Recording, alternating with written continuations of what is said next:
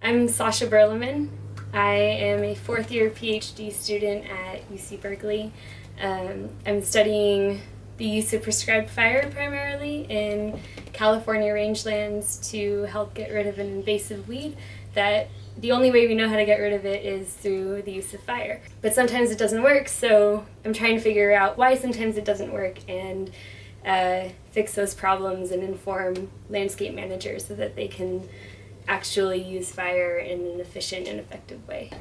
I got into science. I actually started out um, my college career in humanities thinking that I couldn't possibly become a scientist. That was just so far out of reach.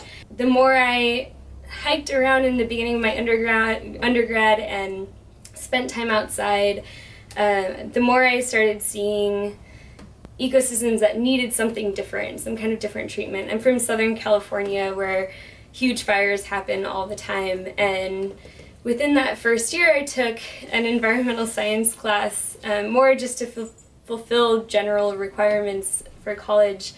Um, and in that class I learned about how badly California ecosystems need fire. All of the plants are adapted to, to need fire and yet here we are constantly putting them out and we're really just digging ourselves a hole. And that really spoke to me. That that bothered me. I wanted to make a difference. I wanted to see a change in the way we interact with fire. California um, government started suppressing fire about 100 years ago completely like trying to put out every wildfire there possibly could be. Because we were, we were scared of fire actually hurting our, our precious wood resources up in the forest. And we're learning now that that's not that's not how it works. We, we actually need fire to, to maintain those wood resources, even though it seems like a destructive force. And when you suppress fire for that long, you create wildfires that are immensely worse, like mm. so much more catastrophic and severe. And you can combine that with with severe drought for a few years, and you have a, a real hazard, a real problem. And that's the underlying like simplified cause of why we're getting the fires we're getting now. A, a fire ecologist essentially has a, a fundamental understanding, at least to the best of our knowledge to date, what um, a landscape, depending on what it is, whether it's um, mixed conifer forest or oak woodland or um, rolling grassland, like what do those landscapes need?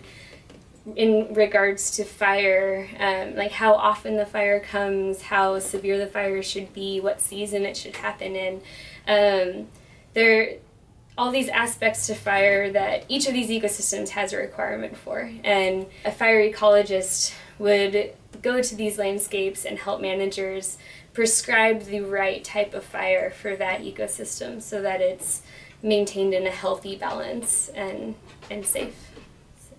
So for me, for fun, I I do a lot of different things. Um, I have always been a dancer, and so a few years ago I came into uh, teaching pole dancing classes for uh, women around my age, anything from uh, like beginning of undergrad age all the way through. I have some students in their 60s, and it's such a fun activity, um, helping like empower women and give them a sense of strength and uh, I absolutely love it, and I, I love dancing and I love teaching um, and helping women find their sense of femininity and their inner strength. Um, I absolutely love Shenova. The second I saw your website and your mission statement and the clothes themselves, they're they're beautiful and they inspire women to fill this exact gap that there is where they can actually be feminine and smart and express all of that at once without having to polarize and say like